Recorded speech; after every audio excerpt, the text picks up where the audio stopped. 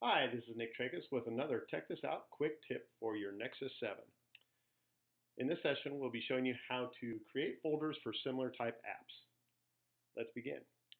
I'm going to slide to unlock my Nexus 7. You can see I have a bunch of apps on my home screen, on several different pages of my home screen. I'm going to go to uh, this page here, and you can see I have a few apps that are similar because they uh, have to do with photo or photo editing or uh, manipulating photos. So I'm gonna I want to put those into a folder so I can uh, keep things organized. Right now everything's kind of a little bit of a mess.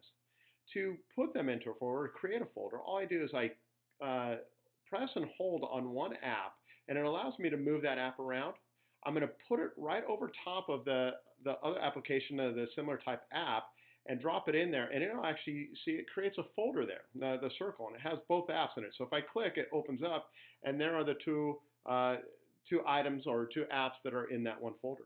I can also change the name of that folder by clicking on the uh, the name field there and typing it in. So I'm going to call this uh, uh photo.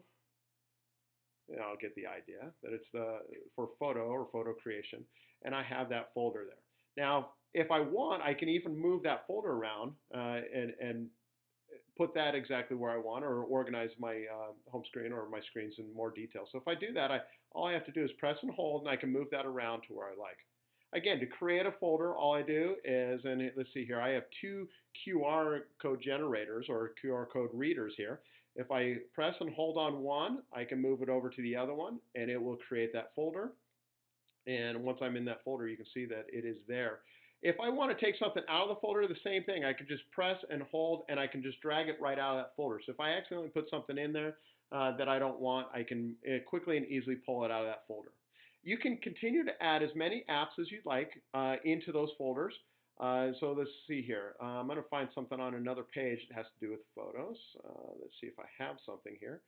Um, of course, I can't find anything when you need it. So let's go into my um, all my apps. And here I have a Camera 360 app here. I'm going to put that into that same folder.